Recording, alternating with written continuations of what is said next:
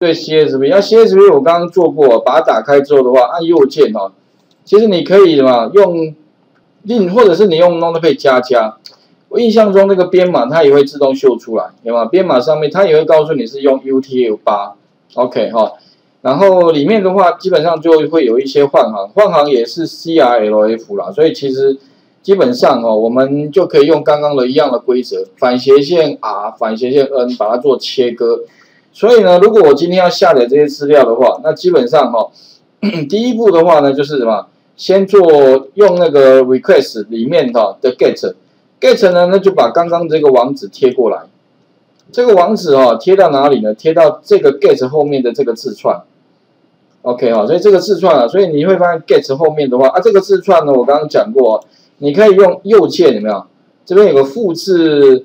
那个连接网址这一张还蛮重要的。以后如果说，呃，在网页上面的任何的你要点击才能下载的话，你可以按右键，要把这个网址给抓下来，然后贴到哪里呢？贴到我们的这个双引号 get 里面。哎，有点像是哈，我们那个 request 有点像模拟那个浏览器，浏览器的方式，就帮我去那个网址里面把那个资料给抓过来。然后抓过来之后的话呢，就放到那个 HTML，它会产生一个 HTML 的物件。那这个物件里面的属性哈，点 test 就是里面放的资料。哦，啊，另外的话还有编码方式哦。刚刚我们有看了一下，它是 UTF-8，你不能用 CP90 哦。如果你刚刚用刚刚的 CP90 的话，那得到的结果会是乱码。哦，所以特别注意啊。不过还好哦，目前的话可以记，就是反正两种，不外乎就是微软阵营的。不外乎就是非微软阵营的，那么这两个其实还好，没有第三个阵营的。OK，如果还有的话，那真的很麻烦的哈。理论上我啊很少遇到这这些以外的。OK 哦，然后再来一样什么做 split，所以把这个 HTML 的物件哈里面的文字做切割，然后把它放进去，就是反斜线 R 反斜线 N 哈，实际上是切一行一行，有没有？每每一一笔资料了哈，切一个放在串列里面，放在串列里面，然后呢，再来的话呢哈，我就怎么样？我就再把这个资料哈，把它做那个呃资料再做切割，逗点的部分好再切割。啊，另外的话，我这边的写法，云端放的写法哦，用的跟之前那个一次音色不太一样。我这边用的是什么？SQ many 哦，OK，那 SQ many 的话，意思说哈。我可以再产生什么第三个 list，也就是再把 list 二怎么样，再放到 list 三里面。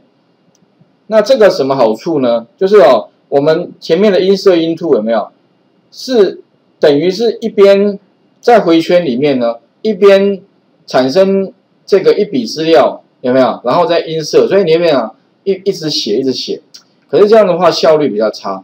那如果说你今天希望哦，快速的把整个资料一次性的写进去的话，哦，比如说你的笔数比较多，那可能相差时间会比较，就会就会有感觉了，哦，但是理论上啊，我试过大概一百万笔以内哈，好像感觉不太出来，哦，所以如果你的笔数哈没有超过那个百万笔啊，其实用哪个都可以啦，但至少啦，因为之前有同学问到说，哦，老师我每天哦那个不知道什么，他这样不知道做什么。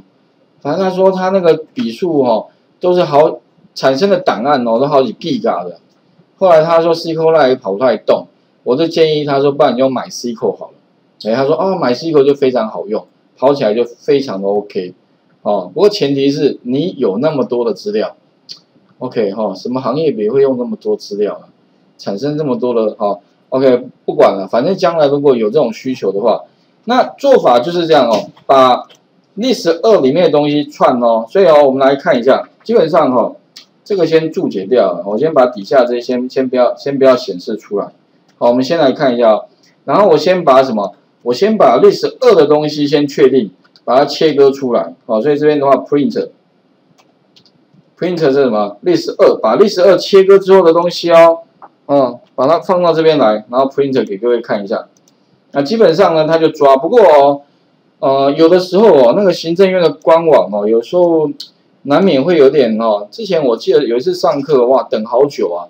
所以待会如果你们同时执行哦，如果假的慢一点的话，你不要以为是有什么，这可能是网站回应比较慢，好，那你会发现哦，就一个一个帮我切进来了。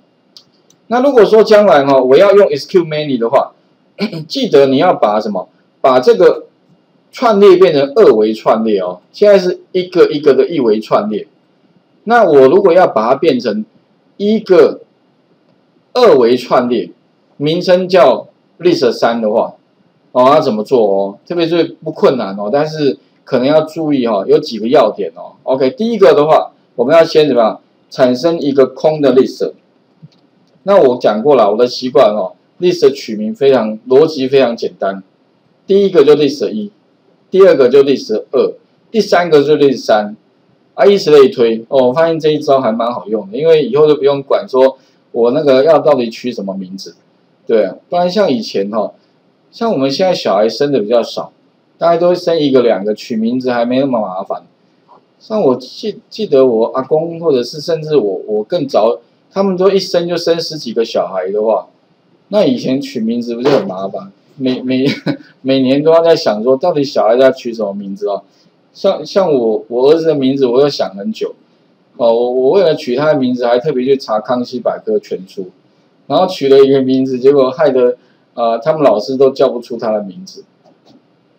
OK，因为我我儿子的名字哦，那再来的话，底下第一件事就是先产生一个空的。然后呢，再把刚刚的这个历史二有没有？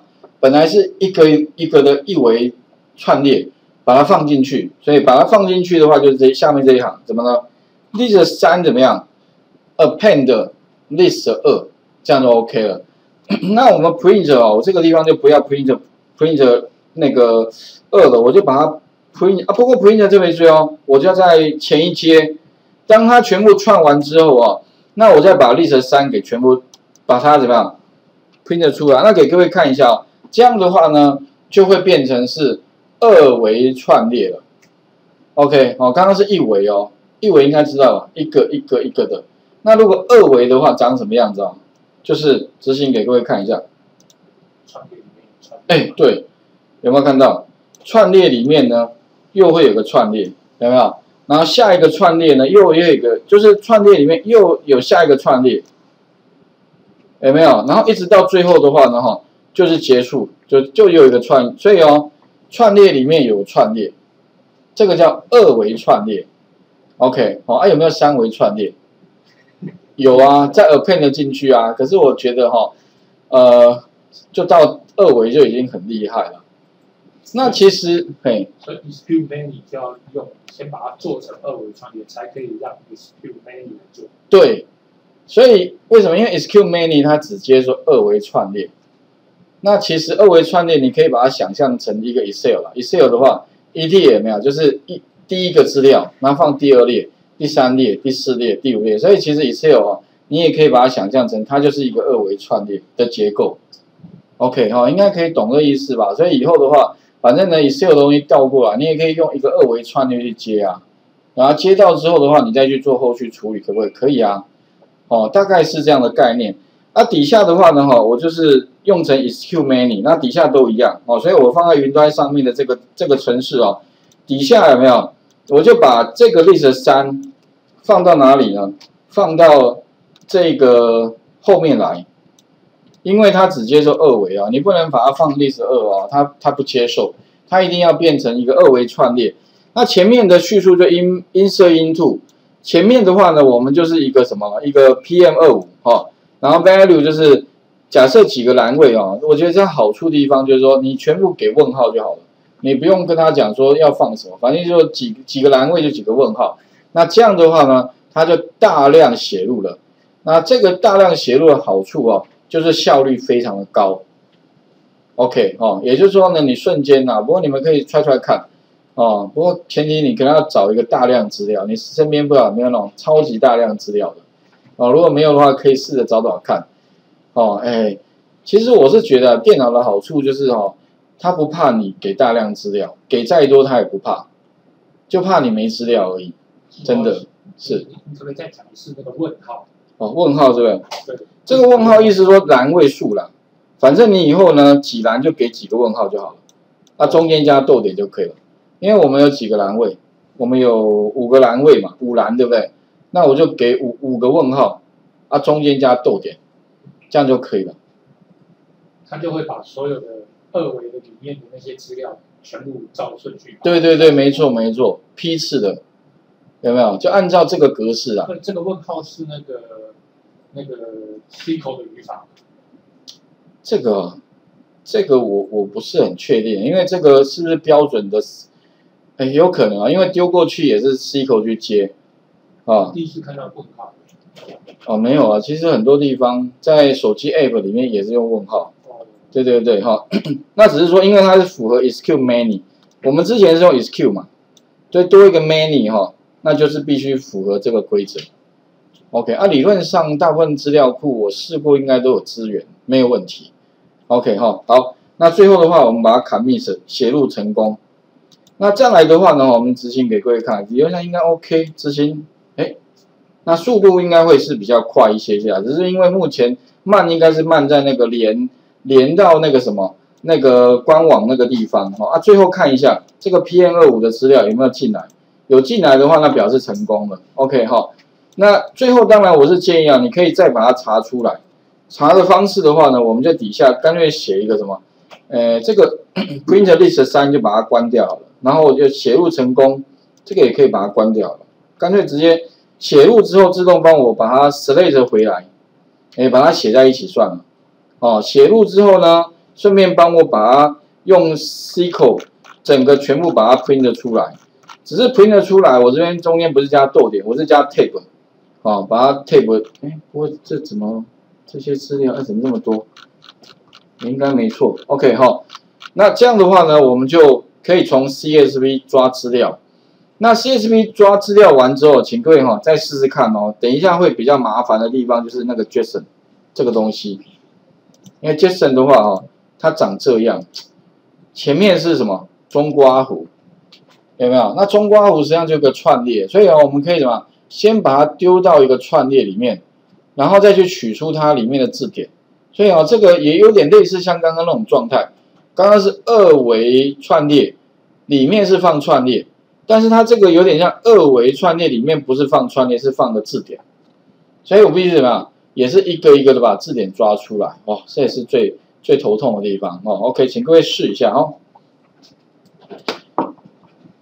那各位也不用觉这反正这种架构哦，会非常容易出现哦。OK，而且有的时候哦，你还要针对那个来源资料哦，先做啊判断。有的时候不见得长这样，有的时候不见得放在串列里面哦，有的时候是单独，甚至有的时候什么？叫二维的字典，哦，在字典里面呢，再放字典，哇，那更更复杂哦。所以当然 可能还是要针对人家给你的资料分析，然后呢，找出一个规则，把资料呢稍微按照那个规则啊放进资料库里面。OK 哦，也许啦，那如果你实在不知道是要放哪里，最简单的方法啊，先把它塞到资料库吧，哦。